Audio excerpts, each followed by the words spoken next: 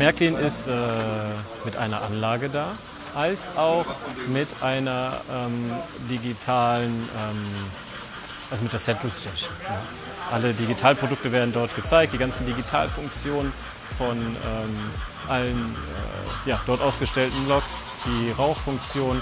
Da müssen wir mal wieder ein bisschen Rauch anfügen. Muss man doch sehen. Ne?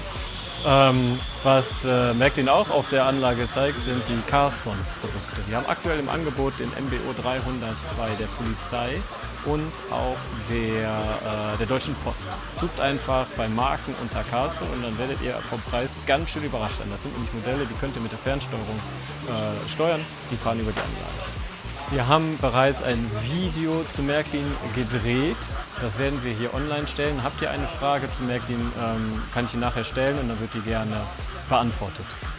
Ich habe noch eine Frage bekommen und zwar gibt es auf der äh, Aktionsfläche hier bei uns was für Kinder? Natürlich. Zum einen, Modelleisenbahn ist ja auch für Kinder. Die ganzen Anlagen, die wir hier haben, äh, da haben die Kinder natürlich Spaß. Aber natürlich haben wir in dem Schattenbereich haben wir ähm, Malen für Kinder. Also wir haben Ausdrucke natürlich als Eisenbahn bezogen. Wir haben ähm, schöne, äh, bum, bum, bum. wie heißen denn nochmal die, die Buttons? Buttonmaschine haben wir. Ja? Eine Buttonmaschine haben wir. Wir haben Trainini am Start, die machen Bierdeckel basteln.